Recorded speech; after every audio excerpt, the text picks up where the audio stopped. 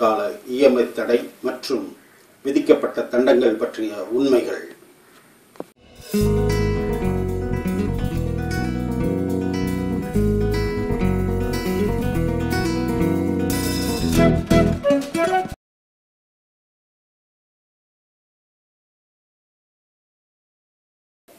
ஜூலை மாதம் ஒன்பதாம் தேதி அன்று இஎம்ஐ தடை நிவாரணம் அமலாக்க மேற்பார்வை பற்றி ஆர்பிஐ பதிவு செய்து வைத்துள்ள விவரங்களை தரக்கோரி தகவல் பெறும் உரிமை சட்ட மனு ஒன்று நாங்கள் பதிவு செய்துள்ளோம்.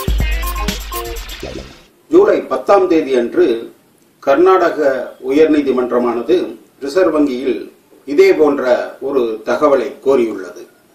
ஆகஸ்ட் பதிமூன்றாம் தேதி அன்று சென்னை உயர்நீதிமன்ற மதுரை கிளை இதே போன்ற தகவலை ரிசர்வ் வங்கியில் கோரியுள்ளது. ஆகஸ்ட் மாதம் பதினேழாம் தேதி கர்நாடக உயர்நீதிமன்றமானது இஎம்ஐ தடைக்கும் கல்வி கடன்களுக்கும் உள்ள தொடர்பு பற்றிய மேலும் விவரங்களை கோரியுள்ளது.